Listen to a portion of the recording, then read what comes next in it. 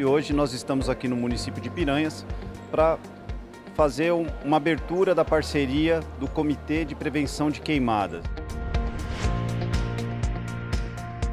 Hoje nós estamos tendo a oportunidade de fazer um esclarecimento a toda a população de Piranhas, da zona rural, da zona urbana, sobre as formas de evitar problemas na nossa energia.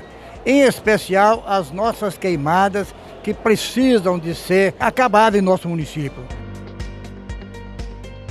Além dessa parceria, a gente está trazendo uma série de serviços aqui, como serviços comerciais, todo tipo de serviço comercial hoje vai estar à disposição das 8 até as 16 horas para que os nossos clientes possam vir ter acesso aqui no Centro de Exposições Agropecuárias. A gente também traz o programa de eficiência energética de troca de lâmpadas. Cada cliente pode trocar até 10 lâmpadas aqui, lâmpadas ineficientes por lâmpada LED. A gente também traz o programa de troca de geladeiras. Hoje a gente está trocando 30 geladeiras aqui de clientes que foram pré-selecionados. Né?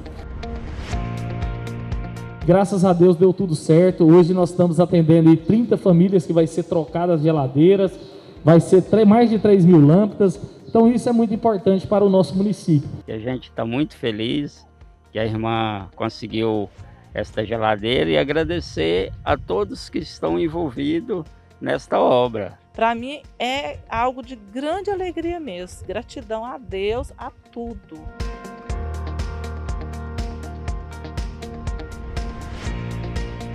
A Enon realmente eles procuram fazer os trabalhos na técnica, usando para que esses serviços não sejam provisórios, mas que eles permaneçam para um bom tempo entre nós.